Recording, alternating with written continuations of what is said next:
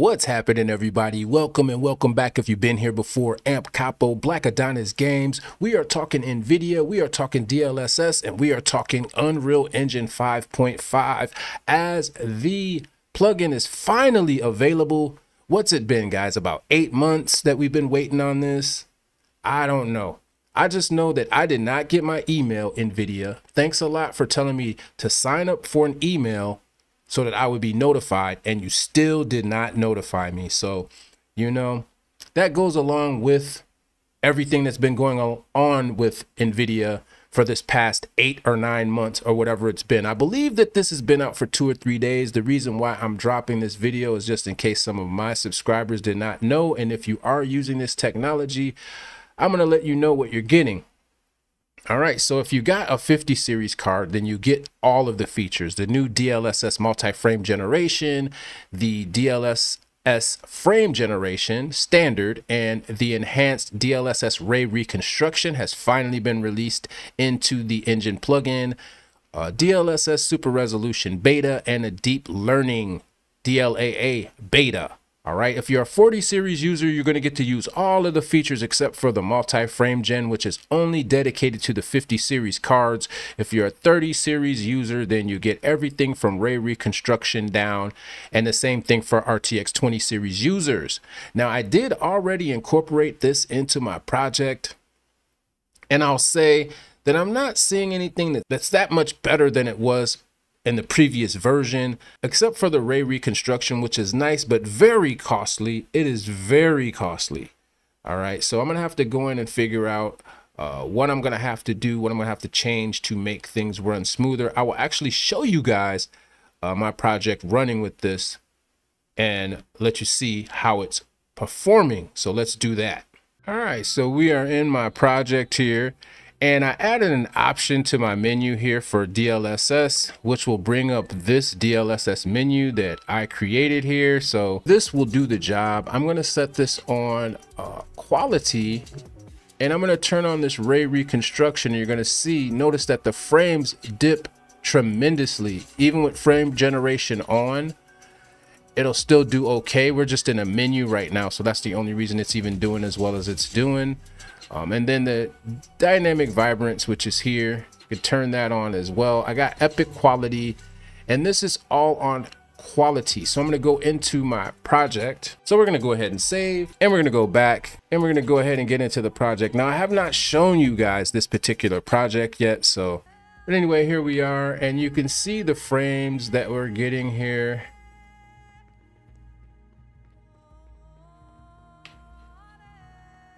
And you can see a lot of glitching and hangups, which I've been getting since I started trying to use the ray reconstruction. It's a little glitchy. Most definitely a little glitchy.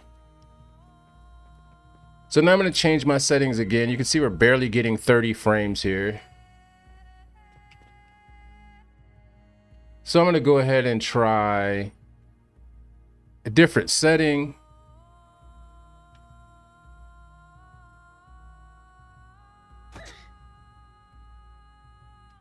Getting beat up, so it's not letting me go into the menu. All right. And you can see it's very glitchy, which was not before in previous versions. Now let me go in and I'm going to change this option and I'm going to take the re ray reconstruction and we're going to actually leave it off. You're going to see that everything goes up a little bit more. We're going to go ahead and go to performance and we're going to leave everything else the same. And we're going to save and we're going to go back and we're going to resume. And you'll see we get close to 54 55 frames per second 50 frames 40s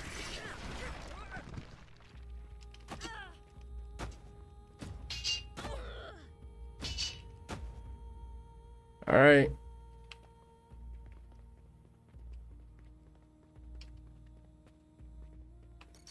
And I'll be showing you guys this project a little later in its entirety of what I have done so far. This has missions, everything already included. But I just wanted to show the DLSS and as you can see, it works. Like I said, the ray reconstruction really causes issues.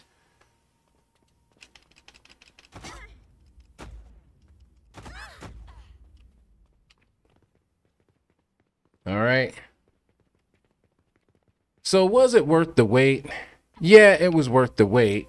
Um, I'm not going to be using the ray reconstruction at this time as to me it's very buggy and you guys saw it for yourselves that when I turn on ray reconstruction it really got janky buggy frames dropped really low uh, not really something that's helping out at this time I will have to go in and check way more of my settings I will have to check my uh, my ray tracing settings and other settings as you can see here, I'm missing some materials here that I need to work on as well. So we'll get everything fixed up and I will show you guys this again. But I just wanted to make it known that the DLSS 4 was out and that you can use it now, especially if you've been waiting like me. My project incorporates it and I had to use a bootleg version to get by that actually wasn't working, but it was just filling the void so that my project would not crash out. So this should have been done already. This is not something we should have waited eight months or however long we've been waiting for this DLSS. If you're a DLSS user,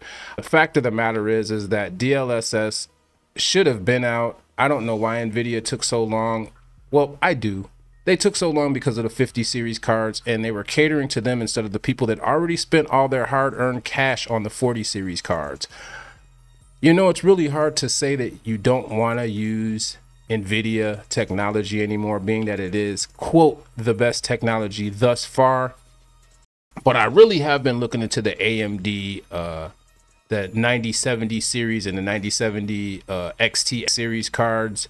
I will probably grab one just to see how it does comparable to my 4070 because I'm just a little tired of, of NVIDIA thinking that they could just do whatever they want to us and we just supposed to sit back and accept it um, this long to wait for a major technology and a major engine it's just that was just pathetic in my opinion it's just pathetic and um, that's all I got to say about that. You guys let me know if you're using this technology in your program, in your software, in your game.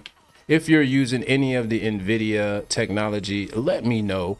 And let me know how you feel about, you know, us having to wait so long for releases uh, the last time that we had this technology available, the same thing happened. I believe that we waited about six to eight months to even get a plugin. So that's all I got for this one, man. Hopefully, if you are an NVIDIA RTX user, this knowledge will help you. If you need any help adding this to your project, let me know. Um, I will probably do a little small video if people are having issues uh, putting DLSS into their projects. Anyway, that's all I got for this one, man. Like, subscribe, hit the notifications, and share the content. I'll be back with another video, more than likely showing this project in its whole completeness. Amp Capo, Blaque Addonnis Games.